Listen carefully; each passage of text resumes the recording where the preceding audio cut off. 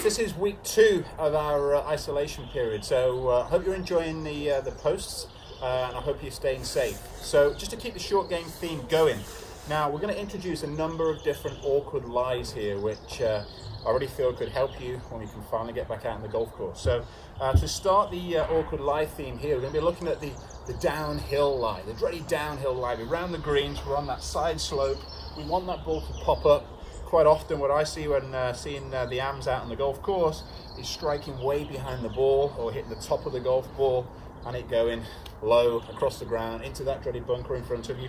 So um, a couple of top tips from here is tip number one is trying to, we need to make sure that we get the, uh, the sternum here, the spine perpendicular with the, uh, with the slope. So spine perpendicular with the slope, not by leaning body weight left here, but by literally getting yourself loading on top of that left shoe here. So on the lead side, the body, the golf ball itself is in line with my sternum right here. So uh, you can see how wide I'm standing. So the width of stance here purely is, is to help with my stability. So I'd say pretty much 95% body weight there on this occasion on my left side. If the slope is uh, more severe, I'd be even wider still.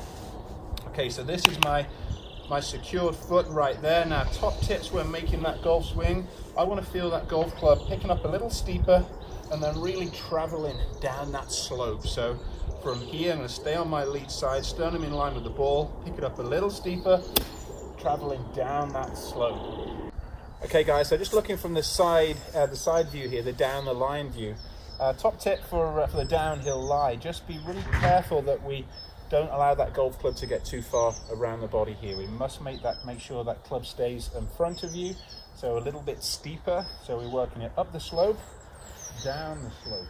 Okay, so don't allow that golf club to go around the body.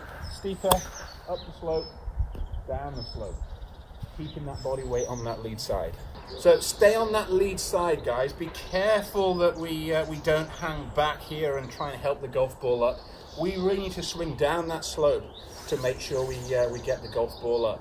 Give it a go. Um, can't wait to uh, get back out on the golf course and really get some really good feedback. Um, but yeah, hope you like the series. Stay safe. I really look forward to seeing you soon. Thank you.